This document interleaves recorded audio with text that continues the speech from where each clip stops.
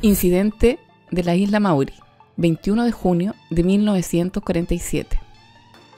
Un navío, dirigido por Harold Dahl, salió a recoger troncos. El trabajador estaba acompañado de su hijo y su perro.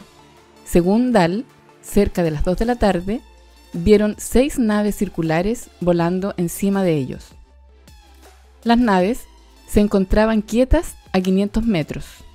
Según su testimonio, tenían alrededor de 30 metros de diámetro, con un agujero en el centro y con ventanas de observación en toda su circunferencia.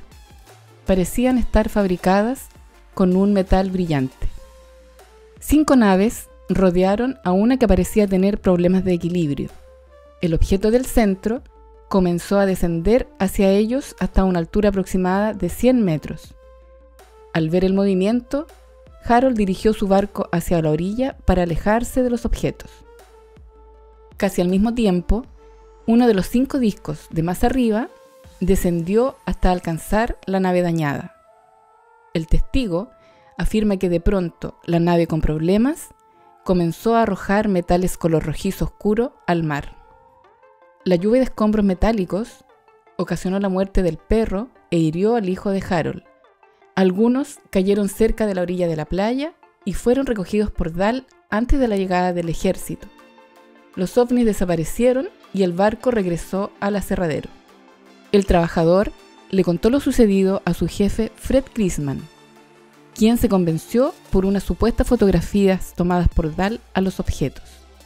Grisman se dirigió al lugar y vio una de las naves volando encima de él. Asustado, dio aviso a las autoridades. Este caso es simbólico para la ufología, porque testimonia la aparición por primera vez de los hombres de negro. Al inicio de la investigación, un hombre vestido de negro visitó a Dal y Chrisman. El extraño visitante les pauteó la historia que tenían que contar acerca del incidente.